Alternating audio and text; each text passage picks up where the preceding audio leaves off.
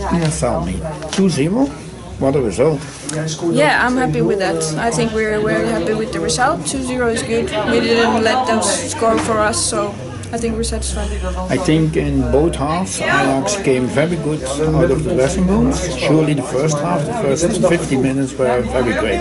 Yeah, I think we controlled the game very well, and we, we played like Ajax will do, keep the ball and uh, be patient. Yeah. Well, I saw also today what's happening the last time a lot in soccer. You score out of a corner from Prague. Yeah, yeah, we hope so.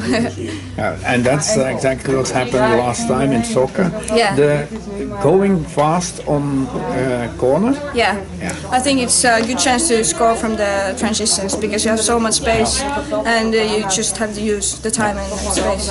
And you got lucky one to score the first goal. Yeah, of course, it's nice to score the first one. Yeah. This is a nice result. On the other side, we have have seen that they create some chances. Probably there will be a lot of spectators in their stadium, so it will still be a very tough game.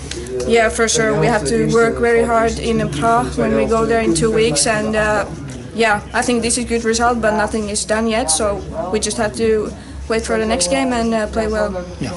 How does the Finnish girl come in the Netherlands?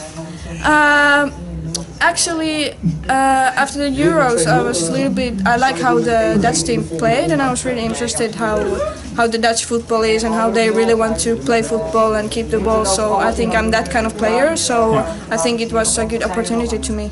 Okay, last question. What's the ambition from yourself and from Ajax uh, this season?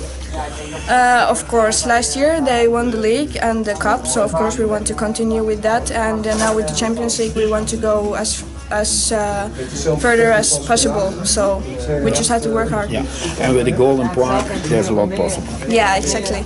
Okay, I wish you uh, congratulate you with the result today and uh, good luck in Prague. Thank you very much. Thank you.